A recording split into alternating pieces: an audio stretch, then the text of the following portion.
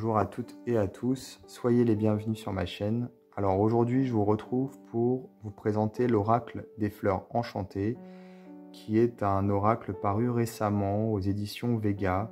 Alors si ma mémoire est bonne, il est sorti le mois dernier, donc au mois d'août 2021 et il a été créé par Carla Moreau. Et comme vous pouvez le constater, c'est un oracle qui euh, est construit, euh, enfin qui, comme thème, son thème, ce sont les fleurs, voilà. Euh, donc déjà, on peut le voir au niveau du packaging, qui il, rappelle, me rappelle en tout cas un peu l'époque victorienne, avec ici la police d'écriture, le cadre, les illustrations, les couleurs.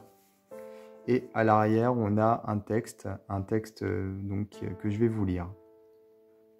Chaque carte de cet oracle fascinant présente un dragon aux ailes de papillon se posant sur un bouquet de sagesse.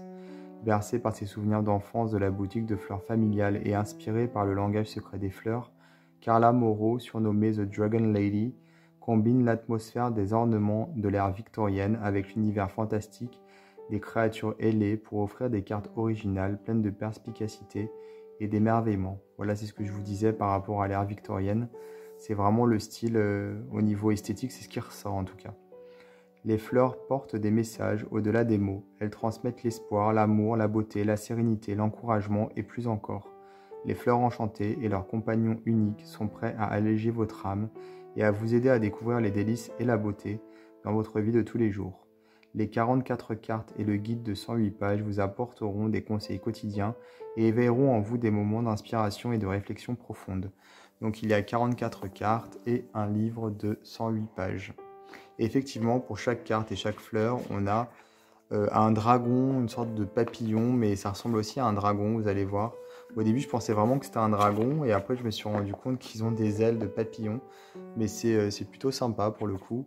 Et euh, ce qui est chouette aussi avec ce jeu, c'est que hum, finalement, on, a donc les, les, les vertus des fleurs euh, qui sont ici euh, proposées euh, comme signification en fait divinatoire ou développement personnel. Donc c'est plutôt pas mal pour les personnes qui, qui s'intéressent aux fleurs, aux plantes. Du coup, soit ça, ça, leur permet de, retrouver un petit peu, voilà, les, comment dire, les, ce que je disais, les, les vertus, les qualités des plantes euh, ou alors, si vous n'y connaissez pas trop, euh, ça peut vous permettre justement de vous familiariser euh, avec, avec tout ça. Voilà. Alors ici, on a donc un sommaire avec toutes les cartes. On retrouve ici toutes les cartes qui sont classées par ordre alphabétique pour pouvoir les retrouver plus facilement. Alors, introduction, voilà, la créatrice nous explique son, justement son parcours. Elle a grandi dans une boutique de fleurs. Euh, qui était tenue par ses grands-parents. Donc elle a toujours été euh, très sensible aux fleurs et au langage des fleurs plus particulièrement. Ensuite, on a un texte, euh, un long texte où on nous explique comment utiliser le jeu avec différents tirages. Voilà, le tirage à une seule carte, à trois cartes, le tirage d'alignement des chakras. Et quelques, quelques autres conseils, par exemple tenir un journal. Et ensuite, nous avons les significations des cartes donc ici le nom de la carte, abondance. Nous avons ensuite euh, le nom de la fleur, hein, voilà. Ensuite le papillon. Euh, donc c'est vraiment, euh, voilà, c'est documenté. Et ensuite on a ici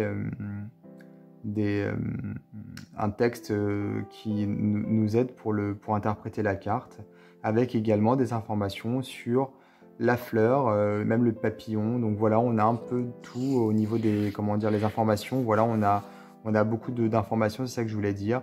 On a donc, euh, on, sent que c'est documenté. Voilà, on, a vraiment euh, ce sentiment que la, créatrice sait de quoi elle parle.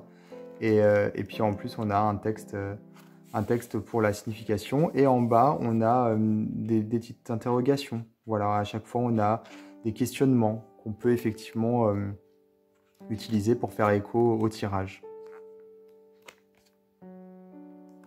Et ici, on a une citation. Les fleurs en silence semblent insuffler des pensées telles que le langage ne possède de mots pour les dire. J'aime beaucoup le, style du, coffret et du, guidebook. Euh, ouais, je trouve ça vraiment très joli. C'est raffiné. Alors, les cartes se trouvent dans un pochon satiné. Elles ont la tranche qui est dorée, voilà, elles sont un petit peu brillantes hein, pour le coup. Au niveau de la taille, euh, elles ont une taille, on va dire, plus ou moins standard pour tout ce qui est euh, voilà, les coffrets des éditions Vega. Peut-être que vous connaissez déjà, près, voilà, la taille est à peu près standard. Quoique, euh, des fois, on a des cartes un petit peu plus larges. Ici, elles sont peut-être un peu moins larges. Elles correspondent plus à un jeu de tarot, bien qu'elles soient peut-être un peu plus hautes pour le coup.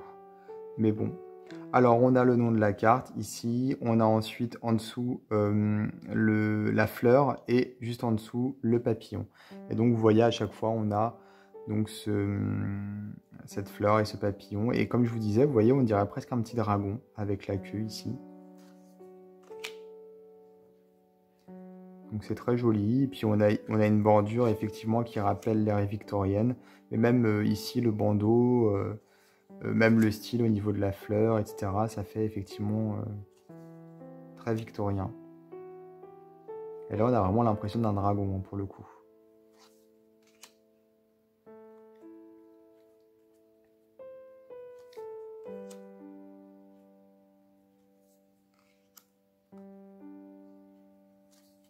Et c'est rigolo parce que bien que les, comment dire, les petits dragons, les petits papillons euh, ont des couleurs qui, ne sont pas les mêmes euh, que, les couleurs des fleurs. On a presque l'impression que c'est une deuxième fleur. Je ne sais pas comment vous expliquer. Avec ici la tige pour le, la queue et puis euh, pour les, ailes, on a l'impression que ce sont des pétales. Et qu'au niveau de, de, la tête du petit dragon, on a presque l'impression que, que c'est le, pistil de la fleur, je sais pas. C'est rigolo en fait. Quelque part, on a on a un peu le, comment dire, euh, un petit parallèle entre les deux. On a l'impression que les fleurs et les, petits papillons se s'entremêlent et euh, ne font plus qu'un. Et donc c'est très harmonieux.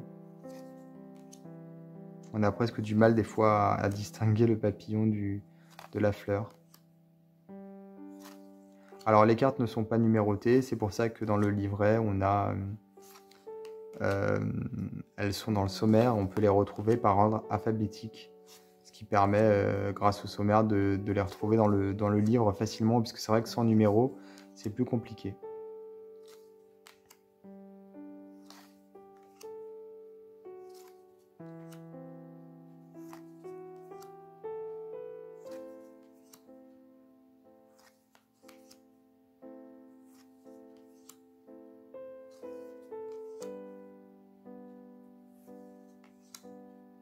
Donc c'est paru aux éditions Vega, ce que je vous disais. Donc euh, je vais vous mettre dans la description de ma vidéo euh, un lien vers le site de l'éditeur. Comme ça, si vous voulez vous procurer ce jeu, ce sera plus simple.